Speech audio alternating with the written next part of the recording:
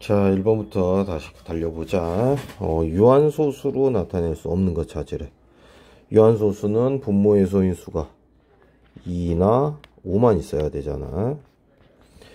그러면 4는 2 곱하기 2니까 2의 제곱분의 1이라 분모의 소인수가 2만 있네. 약분을 해야겠지 2번은. 기약분수를 항상 써봐야 되거든. 7, 2, 14 7, 8에 56 2른이 248. 좀 큼지막한 수로 나눠보면 좀 빠르게 할 수 있겠지. 2밖에 없지? 음, 7로 또 약분이 되네. 91이. 7일은 7. 73, 21. 7로 약분을 하면 이렇게 되기는 하는데 어찌됐든 분모만 봐야 되잖아, 이렇게. 5밖에 없지. 어, 3으로 한번 약분이 돼도 3이 하나 남고 3, 7에 21. 더 이상 약분이 안 되는데 분모의 소인수가 2 나오고 2의 것이 있으니까 유한소수가 아니라 순환소수가 되는 거지. 자, 얘는 일단 유한소수는 아니잖아. 무한소수지. 무한소수 중에 순환소수잖아. 한없이 달려가니까. 자, 그리고 얘는 5.1 순환마디 7, 2잖아. 맞지? 그러면 990분의 5172 빼기 51을 해줘야 되겠네. 5172 빼기 51은 얼마냐? 그래서 990분의 5121인데 어, 약분을 해보고 있는 것 같아. 9로 약분을 해본 것 같아. 귀찮아도 계속 써보고 9로 95 45 6, 12, 9, 96에 54. 8, 1 떨어져서 99, 81. 그래서 얘를 9로 약분하면 110분의 569래. 어, 맞네. 순한마디는 17이가 아니라 72였지. 얘도 틀렸고. 990이라는 건 1000x에서 10x를 뺐을 거다라는 거야. 그래야 990x 분모가 990으로 세팅이 되니까 3번이야. 7분의 1을 일단 소수로 나타내 봐야 돼. 7분의 1이란 1을 7로 나눠본 결과물을 얻어내야 되는 거지. 7, 1은 7. 7, 4, 28. 7, 2, 14. 그 다음 60이니까 7, 8에 56 7, 5, 35 7, 7에 49 다시 7, 1은 7 하면서 반복됨을 느낄 수 있어. 이렇게 6개야 6개. 그러면 순한마디가 이렇게 6개인데 94번째까지 숫자를 물어봤잖아. 그러면 94번째가 어떤 숫자로 끝난지를 알아야 되니까 94를 순한마디 몇 개였어? 6개잖아 6개 6으로 나눠봐야지. 6일은 6 6, 5, 30 그러면 순한마디 6개가 15번 반복되니까 그럼 분명히 8은 8번 여기서 등장을 할 거야 8번. 반복되는 와중에. 8은 15번 나오겠지. 순한마디가 15번 반복되니까.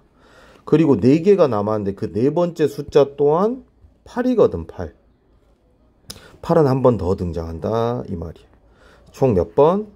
16번이 되겠지 4번이야 순환소수로 주면 분수로 만들어줘야 돼 그래야 방정식이 쉽게 풀려 90분의 12 빼기 1이니까 11 x 플러스 10분의 3은 9분의 5야. 그럼 최소 공배수 90을 예쁘게 다 곱해주면 되겠네. 약분되면서 11x. 여긴 약분되면서 9가 남아서 곱해지니까 93, 27. 그리고 이렇게 약분되면 여기가 10 곱하기 5니까 50. 11x는 50 빼기 27이 되니까 11x는 23이야. 따라서 x는 11분의 23이고 어, 얘를 순환소수로 나타내니까 다시 23을 11로 그냥 나눠보는 게 나아. 이렇게 되네. 안 나눠지니까 하나 찍고 0 하나 늘려주고 됐지? 또 안 나눠지니까 0 쓰고 하나 더 늘려서 9 이런 식으로 반복됨을 알게 돼. 순환마디가 0구지 0구. 정답은 1번이 돼야 되는 거야. 5번 가보자. 5번은 일단은 분모가 45가 되게 얘들을 통분해 보면 9분의 1은 45분의 얼마야? 5지? 그리고 뒤에 있는 건 45분의 9를 곱했으니까 36이지. 이 사이에 있는 분수는 45분의 6, 45분의 7, 45분의 8 이런 식으로 45분의 34 45분의 35까지 있겠네 이 중에 유한소수로 나타낼 수 있는 분수래 근데 45를 소인수 분해를 해보면 45는 3의 제곱 곱하기 5 분의 어쩌고 저쩌고니까 유한소수가 되려면 분모의 소인수가 2나 5만 있어야 되는데 얘를 없애줘야 되거든. 얘는 얼마야? 9잖아 9. 9를 없앨 수 있는 수가 분자에 있는 걸 찾아야 돼. 9의 배수인 걸 색출해내면 되지. 그러면 이 중에서 분자가 9의 배수인 건 45분의 9, 45분의 18, 45분의 27, 45분의 36인데 얘는 없지. 여기 안에 없어. 그래서 정답은 3번. 3개가 되는 거야. 6번이고. A, B가 한 자리 자연수일 때 유한소수가 되도록 하는 순서상 A, B의 개수를 구해보래. 그럼 일단은 음 일단은 분명히 A가 얼마야? 3의 배수여야 돼. 이 3을 없앨 수 있는 수여야 되거든. 그런데 A, B는 한 자릿수라고 했으니까 A가 될 수 있는 수는 세 가지가 있지. 3, 6, 9 이렇게 3의 배수. A는 3, 6, 9가 될 수 있어. 그리고 B는 유한소수가 돼야 되니까 아 그런데 이제 3일 때랑 6일 때랑 9일 때 좀 따로 해보긴 해야겠네. 일단은 예를 들어서 A가 3일 때는 3일 때 써봤어. 그럼 약분이 되잖아, 이렇게. 2의 제곱 곱하기 5 곱하기 b분의 1이 유한소수가 된대. 유한소수가 되려면 분모의 소인수가 2나 5만 있어야 되니까 얘는 2, 4, 5, 8 이런 수들은 될 수가 있어. 2나 5로만 이루어진 숫자. 그래서 4개를 찾았어. 4개. 이건 A가 3일 때야. 그래서 4개 현재 찾아서 기록해놔야 돼. 이번에는 6일 때 해보자. 6일 때 A가. 6을 써봤고 약분을 하는 거지 이렇게. 또 약분이 되기는 해. 어찌됐든 얘도 2 곱하기 5 곱하기 b분의 1인데 그럼 b는 소인수가 2나 5로만 이루어진 숫자인 2나 4나 5나 8이 될 수가 있어. 한 자리 숫자를 했으니까. 여기도 4개. 근데 그 다음 9가 될 때가 좀 많아서 일일이 이렇게 해본 거거든, 지금. 지금 이 A가 9일 때 해보는 중이야. 그러면 얘가 약분이 되거든, 이렇게. 그러면 2의 제곱 곱하기 5 곱하기 B분의 3이야. 그러면 여전히 B는 2나 4나 5나 8은 돼. 그런데 추가로 이번엔 3도 돼. 왜? 3이 약분을 해주거든 이렇게. 또 6도 돼. 6도 약분하고 나면 소인수로 2가 남아있기 때문에 상관이 없다는 소리야. 그리고 9는 안 되지. 9가 들어가는 순간 약분을 해도 3이 남아있기 때문에 그래서 여기는 딱 몇 개. 아 그런데 1의 존재를 신경을 안 썼구나 1의 존재를 그러니까 B가 1이 돼도 상관은 없네 다 1은 신경 안 써도 되는 소인수라서. 소수도 아닐 뿐더러. 그래서 이 네 개가 아니라 각각 다섯 개 다섯 개가 돼야겠네. 그리고 여기서는 하나 둘 셋 넷 다섯 여섯 일곱 개가 되겠네. 일곱 개. 그래서 정답은 이렇게 열일곱 개가 돼야 되는 조금 까다로운 문제지. 자 그 다음 거 가보자 12개의 합동인 직사각형 모양으로 나누어지는 유리창 전체의 넓이를 줬고 유리창 한 칸에 가로의 길이를 줬네. 그러면 음 여기도 a제곱 b잖아. 똑같은 유리창이니까. 여기도 a제곱 b. 여기도 a제곱 b니까 이 가로의 길이는 4a제곱 b겠지. 그러면 가로 곱하기 세로인데 세로를 몰라서 지금 못 풀고 있는 거거든. 그런데 유리창 전체의 넓이를 이 가로의 길이로 뭐 해주면 돼? 나눠주면 되지. 나눠주면 세로의 길이가 구해지니까.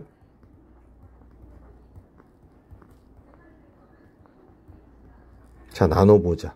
먼저 이렇게 약분되면서 6. A는 아예 없어지지? 그 다음 B는 하나가 남아있어. 이렇게. 그래서 6B.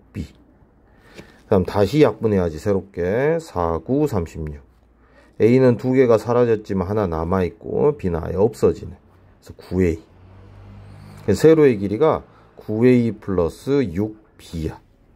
그치? 근데 이제 둘레를 구하래 전체 둘레. 둘레는 가로랑 세로를 더해서 몇 배? 두 배 해주면 되잖아. 가로도 두 개 있고 세로도 두 개 있으니까. 그래서 가로 더하기 세로 의몇 배? 두 배. 됐지? 가로랑 세로의 두 배. 8a 제곱 b 플러스 18a 플러스 12b가 되겠네. 됐지? 그래서 정답은 5번이 되는 거네. 자, 8번 가보자. A의 세제곱 맞고 B의 6제곱 돼야 되는데 틀렸지? 곱해져야 되잖아. 그리고 여기 곱해지는데 이상하게 써놨지? 여기도 이상하게 써놨어. 그 다음에 마이너스는 세제곱 되면 살아 있어야 되는데 없애버렸거든. 자 그 다음 여기는 x의 6제곱 나누기 x의 4제곱이니까 x의 2제곱이라고 써야 되는데 이상한 식을 써놨네. 그래서 정답은 5번이 돼야 돼 9번 가보자. 9번은 이제 앞에 먼저 이렇게 계산을 해내면 되지. 근데 괄호를 풀어내야 돼. 마이너스는 제곱되니까 사라지고 66에 36x의 몇 제곱? 4제곱 y의 2제곱이 됐어. 그걸 얘로 나누래. 그러면 다시 여기를 계산하자. 이렇게 약분하면 12. 약분하면 x 3개, y는 없어지네. 그래서 12x 세제곱 곱하기 네모가 2x 세제곱 y 제곱이래. 나는 네모만 필요하거든. 그럼 얘로 얘를 나눠주면 되지. 나눌 때는 이렇게 나누면 되잖아. 그러면 숫자는 약분되니까 분모에 6이 있고 x세제곱은 없어졌어. 결국 6분의 y의 제곱. 이렇게 돼 있는 정답을 찾아주면 되는 거지. 10번이야. 10번은 괄호풀이 해주면 되지. 다항식 문제네. 일단 중괄호.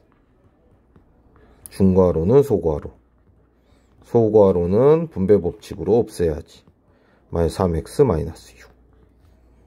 그럼 다시 계산할 게 없어 보여. 소괄호 아니. 그래서 괄호를 또 한 단계 낮추자.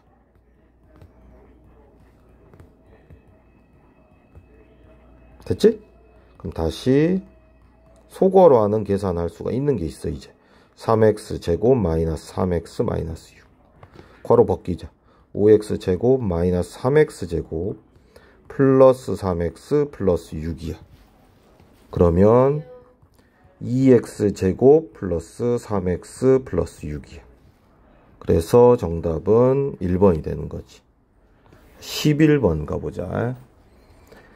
두 자리 자연수이고 라고 했어 일단 그러면 일단은 두 자리 자연수가 되려면 분모가 없어져야 되잖아 전부 다. 그 다음 자연수의 2의 값을 모두 더하면 이라고 했네. 약분을 열심히 해봐야겠는데 얘가 어떻게 돼? 2의 제곱 곱하기 5의 제곱인 거잖아. 그러면 일단 5는 하나 없어져. 그리고 2도 하나 없어져. 이렇게. 그리고 지금 남아있는 걸 정리를 잘해야 돼. 3의 4제곱분의 3의 a제곱 곱하기 요거 남아있거든. 10이라고 적어주자. 근데 얘가 두 자릿수가 되려면 얘가 한 자릿수가 돼야 되거든. 한 자리. 그 이유는 알지? 뭐 30이나 90 막 이런 식으로 될 수 있다 이 말이야. 그러려면 A는 일단은 5여야 돼. 왜? 3의 4제곱분의 3의 5제곱 곱하기 10은 약분해보면 곱해져서 30 두 자릿수 되잖아. 또 6이어도 될 것 같아. 하나 더 많아 보는 거지. 3의 6제곱을 3의 4제곱으로 나눈 걸 10을 곱하면 3이 두 개에다가 10이 곱해지면 9 곱하기 10이라 90 이렇게 두 자릿수가 되잖아. 그리고 4여도 되네. 4여도. 즉 3의 4제곱분의 3의 4제곱 곱하기 10으로 적어보면 약분돼서 그냥 1이 곱해져서 10 요것도 두 자릿수가 되잖아. 그래서 쌤이 방금 5랑 6만 생각하다가 답이 없어 보여서 하나 더 생각한 거야 이게. 그래서 얘들을 더하래. 정답은 1번이 되는 거지.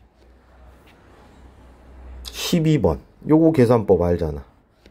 8의 세제곱이 5개 더해져 있고 곱하기잖아. 5의 4제곱이 4개가 더해져 있어. 그러면 얘를 2의 세제곱에 세제곱 곱하기 5의 몇 제곱 돼? 5제곱 곱하기 2의 제곱으로 바꿨었어.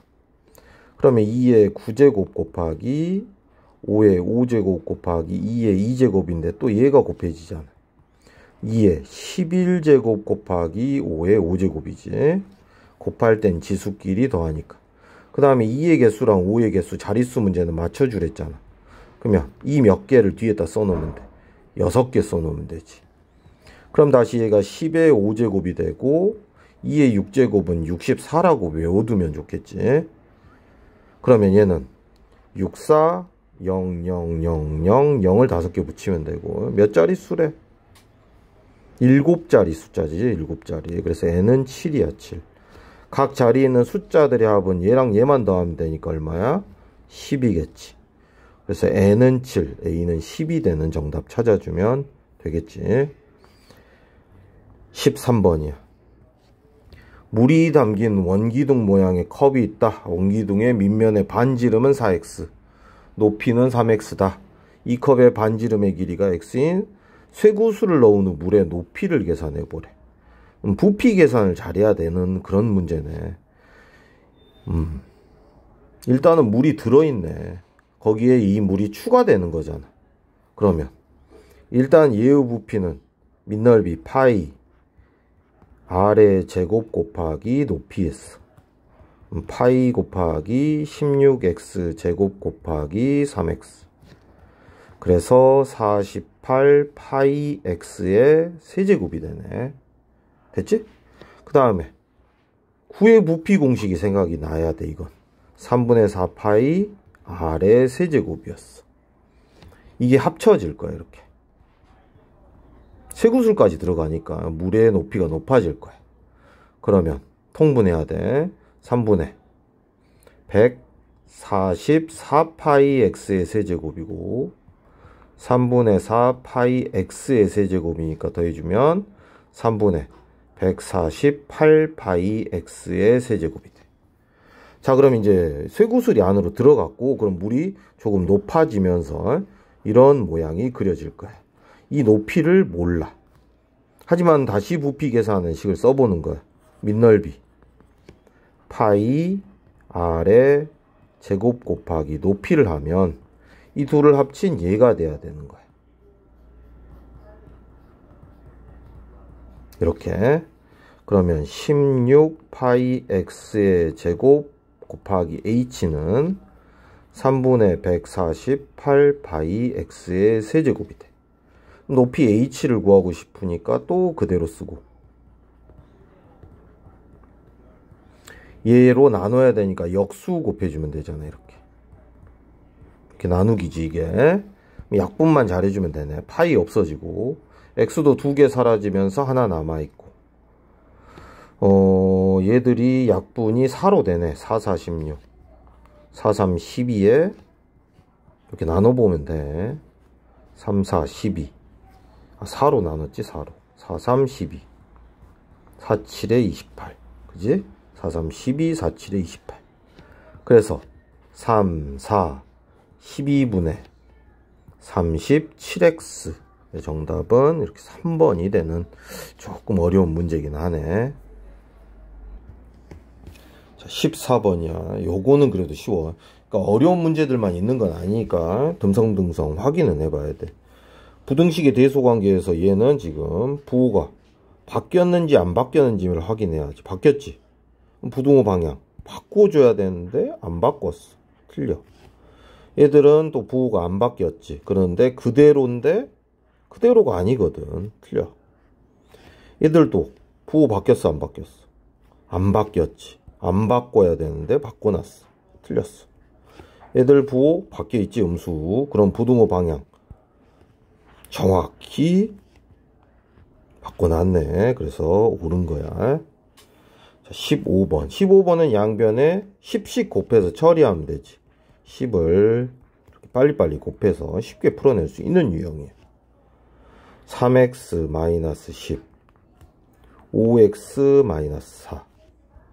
3x-10 5x-4 3x-5x가 마이너스 4 플러스 10보다 작대. 마이너스 2x는 6보다 작고 x는 마이너스 2로 나누면서 부등호 방향 바꿔줬어. 따라서 x는 정답인 얘를 체크할 수가 있게 되지. 16번 가보자. 다음 예의를 수직선 위에 나타내면 그림과 같을 때 아, 그러니까 예의해가 얘래 일단. 그럼 x는 2보다 작다가 나와야 되지. 그래서 이런 문제들은 소수령이 아니면 그냥 x에다 얼마? 2를 넣어보면 빠르게 a를 알 수 있다 그랬어. 그냥 약식으로 풀자. 이렇게. 어 그러면 그것도 등식이라고 여기고 풀면 돼 어, 2분의 1 플러스 3분의 a는 6이고 양변에 6 곱해버리자 그러면 3 플러스 2a는 36 2a는 자, A가 이상한데 잠깐만 이 정확히 넣었는지 확인하자. 2분의 1 3분의 2 아 여기가 6이 아니라 6분의 1이었네. 잘못 옮겨 적어서 그래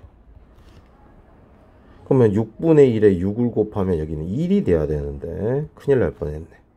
그럼 2항에 보면 1 마이너스 3이고 2a는 마이너스 2지 a는 마이너스 1이야. 그걸 여기다 넣어서 계산하면 돼. 근데 마이너스 1이 들어가니까 어차피 2 플러스 x가 되는 거잖아 이렇게. 그럼 2항만 딱 해주면 여기가 1이 되면서 정답을 찾을 수 있어.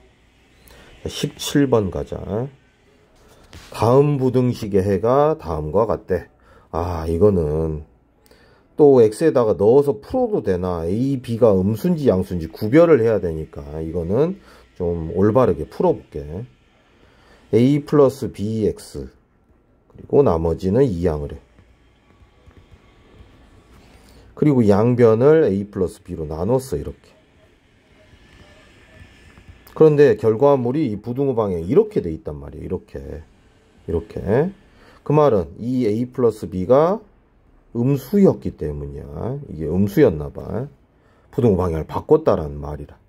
그러면 얘가 결국 마이너스 4분의 3과 같대. 여기가 똑같아야 되니까. 여기.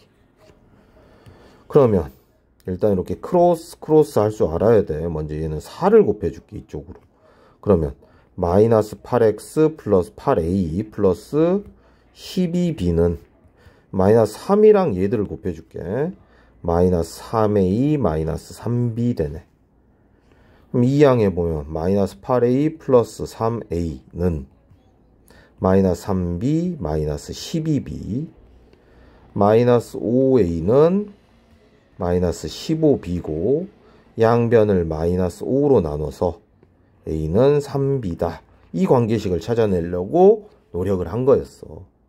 그러면 얘를 여기다 집어넣으면 3B 플러스 B가 0보다 작은데 4B가 0보다 작다? 아 B는 음수야 지금. 4로 나눠서. 그 다음에 또 요걸 여기다 넣어야 돼. 그럼 A 자리에 3B가 들어갈 거야 이렇게. 여기는 3B가 들어가니까 3 곱하기 A라 9B가 될 거야. 정리해보자. 여기는 3B 빼기 2B니까 BX 그리고 9B 빼기 B니까 8B 이렇게. 그래서 BX는 2항에서 마이너스 8B보다 작고 양변을 B로 나누면서 부등호 방향을 바꿔야 돼. B가 음수였거든. 따라서 X는 마이너스 8보다 크다 하고 나오게 돼. 마지막 문제네. 이거는 많이 풀어봤잖아. 그래도 이거는 거리를 Xkm라고 주고 갈 때는 속력분의 거리고 물건 사는 시간 더했잖아. 요거는 60으로 나눠서 3분의 1시간이잖아. 60분의 20이니까. 그 다음에 또 돌아올 때는 속도가 다르네. 속력분의 거리. 그래서 얘가 갈 때 걸린 시간 물건 살 때 걸린 시간 올 때 걸린 시간이 1시간 30분 즉 1과 60분의 30시간의 여유 약분해 보면 2분의 1이니까 1과 2분의 1. 즉 2분의 3시간 이내로 갔다 와야 돼. 최소 공배수 12를 곱해주자. 그러면 약분되면서 4x 플러스 4 플러스 12 곱해야 되니까 3x 12 곱해야 되니까 6, 3, 18 7x가 여기 이항하면서 18 빼기 4니까 14가 되면서 x는 2 이하야. 그래서 2km 이내다. 이렇게 풀어내는 거지.